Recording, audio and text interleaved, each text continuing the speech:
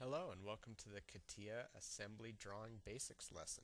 In this lesson, I'll show you how to set up an exploded view of a subassembly, insert a bill of materials, and do general identification of parts. Right now, we've got CATIA open to the lathe subassembly of the block project. First step in creating our assembly drawing is to create an exploded view of this assembly. To do that, we'll go to Explode and select Constraints for the type. Our fixed product is going to be the lathe pin. Now we can click Apply. Click OK, OK, and then Yes. Now we need to move our parts around a little bit to set it up for our drawing. So move that one there going to bring big part back a little bit and the small part as well as our screw. Once we're satisfied with that, we can open up the ME department template, which we've saved to our personal folder.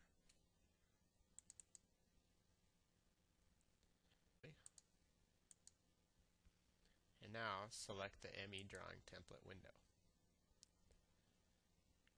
going to use the View Creation Wizard and skip the first step. And just add an isometric view. Click to place, click Finish. Now we have to select our reference plane. In this case, it'll be the face of this part. And it places it in our drawing.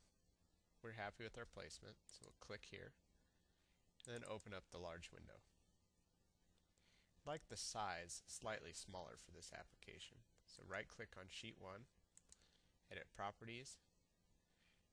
We're just going to do a 3 to 4 scaling. There we go. Move it to where we'd like it placed and adjust this. There we go. Our next step after hiding this name is to insert the bill of materials. To do so, we'll go to Insert, Generation, Bill of Materials. Now we click to place the bill of materials, but it automatically has snapped us to sheet 2. However, if we go to sheet 1, we'll see our bill of materials actually been placed. So sheet 2 is just a secondary measure to tell us what all our parts are. In sheet 1, we need to move it around and resize it a little bit to fit in our allotted space. Do so, we'll double click on it and then move the adjustment bars on the top to shrink it. We're also going to use the merge function, clicking merge, highlight both, merge.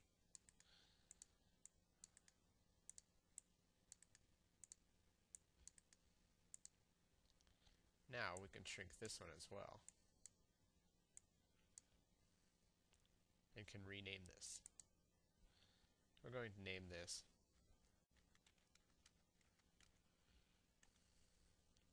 click OK. Our O-rings will be part 1. Lathe bottom will be part 2. Lathe pin, part 3. Top 4 and our hex screw, part 5. We need to identify our hex screw as a hex screw instead of part 1. So we'll rename that. Click OK. Now we can move this into position.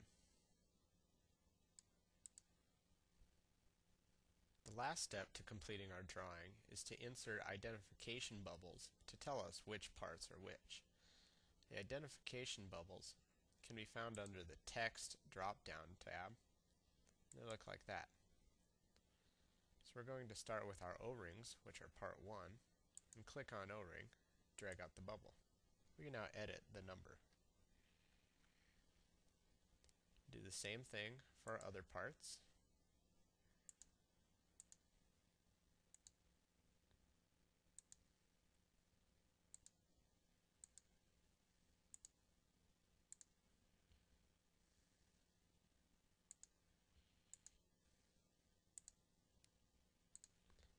Finally our hex screw. Now that's done and our part is moved exactly where we want it, we can print off our drawing. That concludes the CATIA Assembly Views lesson.